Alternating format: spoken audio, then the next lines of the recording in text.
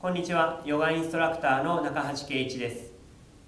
今日も動画を見てくださりありがとうございます。え今日はですねあの人の話とかね理論とかを、えー、あまりにもね、え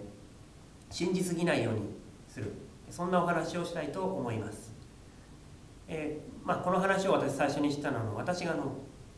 大学1年生の時に教授から教わったんですがあの大学1年でね、えやっと大学入れたと思ってね、え、まあ、喜んでね第1回目の説明会みたいの行ったんですね教授のね。でそこで教授からまあ言われたんですがあのもう君たちはねあの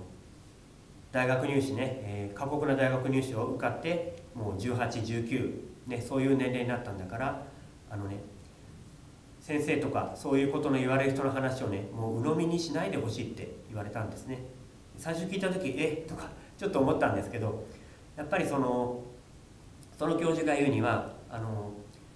どんなにねあの教授という職にある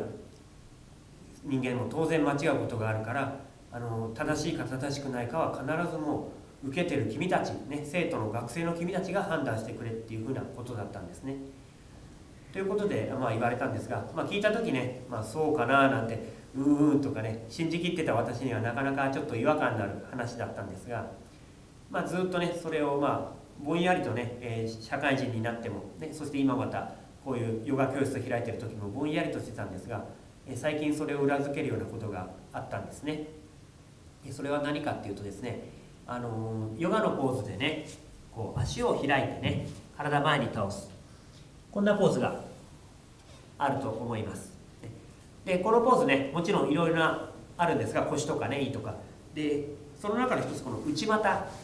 ありますね。でこの内股を伸ばすポーズなんですねこの動きっていうのは。うんとね。でこの内股を伸ばすことによって、えー、例えばあの夜中にこうトイレ何回も行っちゃうなんていうのの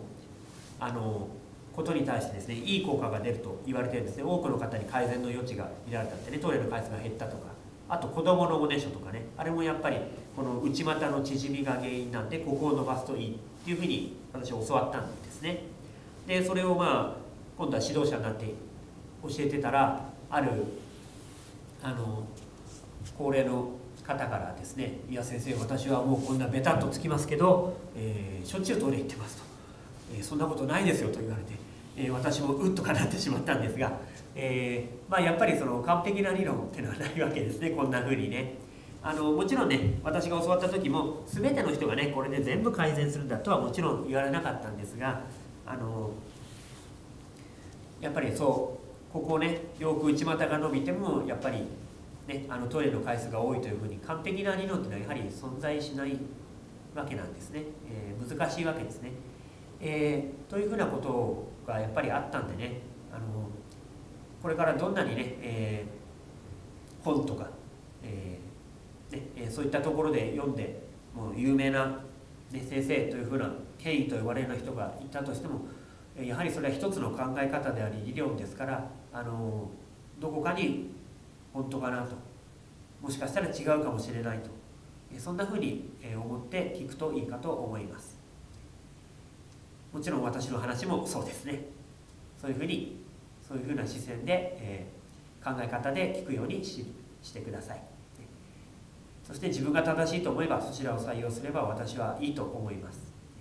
えー、ぜひあの判断基準は、えー、皆さんでね、えー、決めるようにしましょう。えそれではね、え人の話考え方は鵜呑みにしないという話を終わりたいと思います。ありがとうございました。